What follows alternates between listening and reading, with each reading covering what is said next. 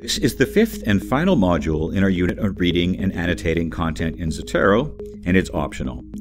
The content here is tailored for people who want to keep their notes and highlights from PDF files as part of the Zotero collection, but who also like to use tablets, such as iPads, for reading and annotating articles and book chapters.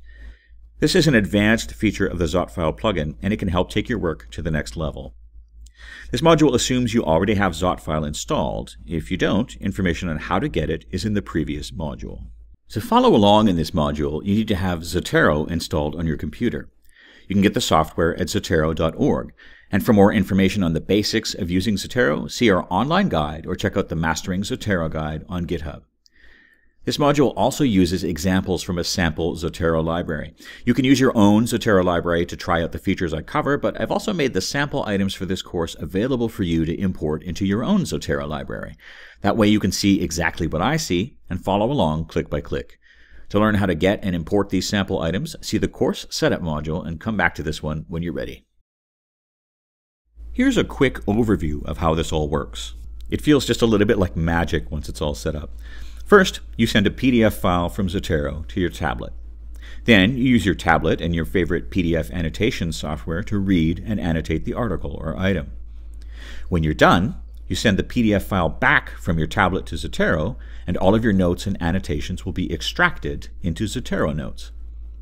I really like this feature because I find reading and annotating on a tablet to be more focused and more portable than sitting at a computer or lugging my laptop around. It's a really nice feature for times when I really want to do some focused reading. Sound cool? Let's get started. This module covers setting up Zotfile to support your tablet, moving PDF files from Zotero to your tablet, and then of course getting your PDF files back from your tablet and extracting the annotations. I'm assuming here that you've already seen the previous module which covers how to download and install Zotfile. And of course, I'm assuming that you have a tablet that you can use to view and annotate your PDFs. There are two things you need in order to make this all work. The first thing is a place to share your files between your tablet and your computer. The second thing, of course, is software on your tablet that you can use to annotate PDFs. Let's talk about software for your tablet first.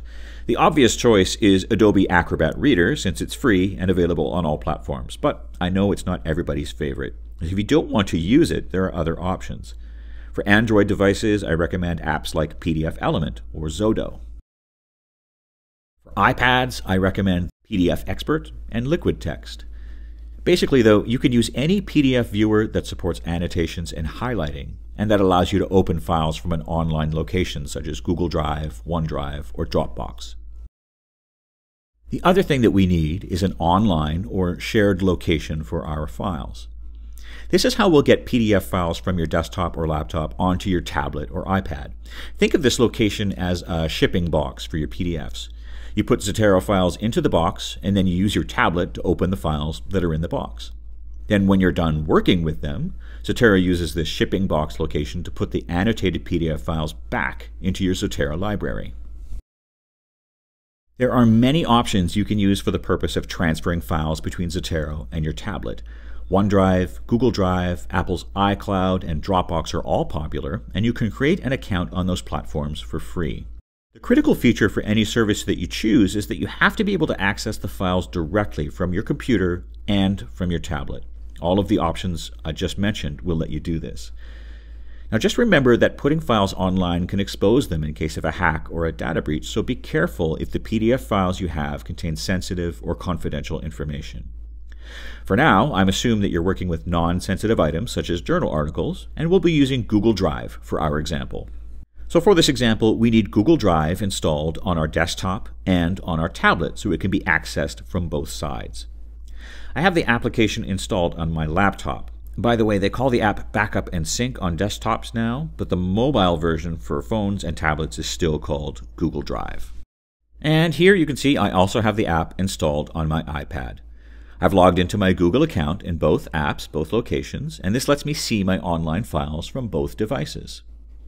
Now, why do we need this? Well, we want Google Drive to be our shipping box. Zotero will need to be able to put files into the Google Drive box so that the tablet can get them.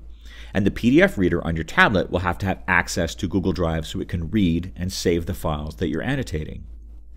So to keep things clean and simple, in case we want to use Google Drive for other things, I've created a folder on my Google Drive called Zotfile, and I'm going to use this as the place to send files back and forth. Now, creating a separate folder for it just means that all the files are kept together and they don't get mixed up with any other things that I might have on Google Drive. So now that we have our file transfer location set up, we need to configure Zotero and the Zotfile add-on to use it. To do this, go to Tools, Zotfile Preferences, and select the Tablet Settings tab. Enable the Use Zotfile to send and get files from tablet option. You'll get a message about a saved search to keep track of your tablet files. That's good, so just click OK. Next, we have to configure the most important setting, the base folder that we'll use as our file transfer location.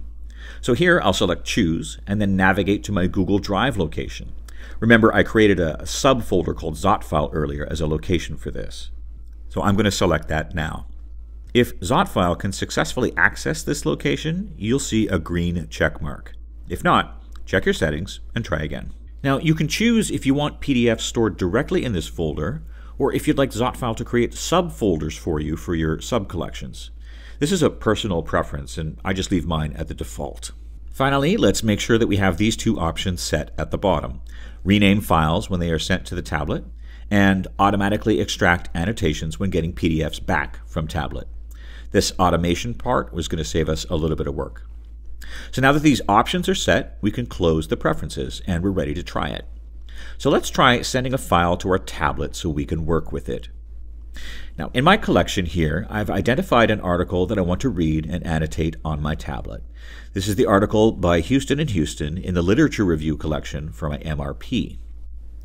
To set it up for my tablet, I simply select the item, right-click, and select Manage Attachments, Send to Tablet.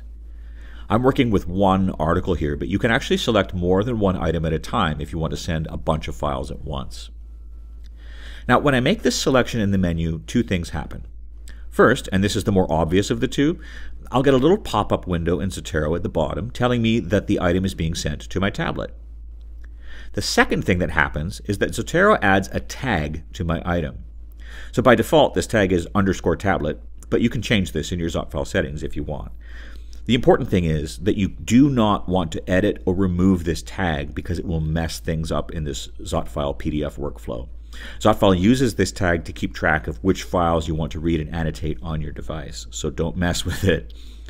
If you added the saved search for tablet files on the tablet, you'll now see that your item is listed there. Now I can go to my tablet. I'm using an iPad and the free Adobe Acrobat Reader app. In this app, I use the Files button at the bottom to choose a file I want to open. I'll tap the Google Drive location on the left. You might be asked to log into Google if you haven't done that already. I can access my Zotfiles folder, and in there, I will find the PDF that I chose in Zotero. So I'll just tap to open it.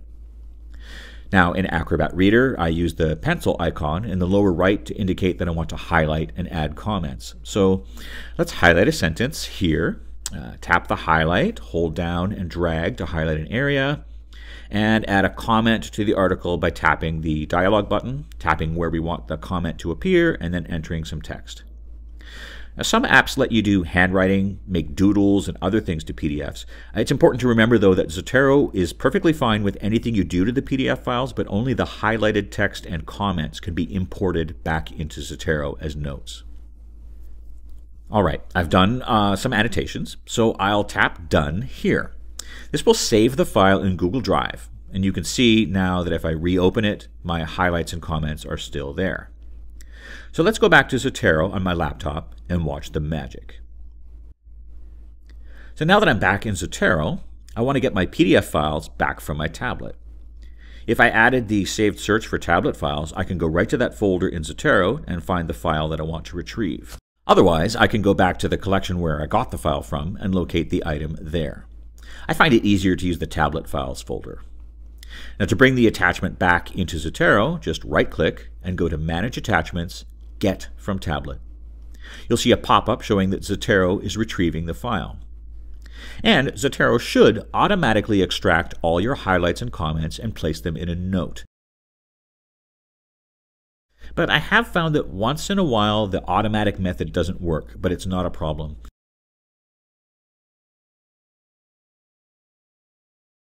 I can always do the extraction manually by right-clicking on the item, navigating to Manage Attachments, and selecting Extract Annotations. And there we go. We have a new note, and in it we see our highlighted text and our comments with links to them in the original PDF files. You'll also notice that that tablet tag has been removed from the item now that it's been retrieved. And if you have the saved search for tablet files enabled, you'll see that the entry has been removed from there as well. That's the workflow. You can send items to and from your tablet anytime. If you send a file to your tablet but never actually use your tablet to open and annotate it, it's not a problem. You can just get the files back from your tablet even if they're not changed. There are just two things you need to remember when using this method for annotating your files. The first thing is something that I've already mentioned. Do not delete or edit the underscore tablet tag that Zotfile uses to keep track of things. It's really critical to how the whole tool works. Secondly, it's important to know that when you send a file to your tablet, Zotfile doesn't move the file from Zotero into your Google Drive. It actually makes a copy. So what that means is that there's going to be one version in Zotero as an attachment, and one version in your shared file location in Google Drive in this case, which your tablet can access. Let me show you an example and why this matters. I'll choose an item here and I'll send it to my tablet. Now if I open Google Drive and look in the Zotfile folder, you can see the PDF file is there. But if I go back to Zotero, I can also select the PDF attachment, right click and select Show File. What this does is opens the folder where this file is located on my computer. Now, when these two windows are side by side, you can see that these are two different files in two different locations. There's a copy of the file in Zotero's internal storage system. You can see it's a weird long folder path that I normally don't worry about. But when I sent the file to my tablet, it created a copy in the Google Drive folder. So what this means is that it's possible that I could open the file from Zotero or from my tablet, but each file is different because there are two copies. Now, most of the time, this won't affect you, but it does mean that you have to be careful about doing your reading and annotation in the spot where you planned on doing it. If you read the article on your tablet and then you don't get it back from your tablet and open it in Zotero, uh, and make annotations, you can actually cancel them all out or overwrite them. So to prevent problems, if an item is marked as being on your tablet, only open it on your tablet. If you do want to stop annotating or reading a PDF on your tablet and switch to doing it from Zotero or your computer instead, get the file back from your tablet first and then proceed with your work. There you have it.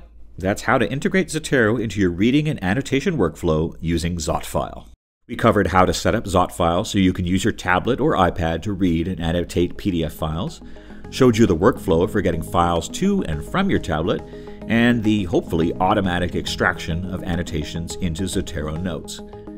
This brings us to the end of Unit 2. In Unit 3, I'll be talking about how you can go even further with Zotero, using it to manage your research workflow and keep track of your search strategies. See you there.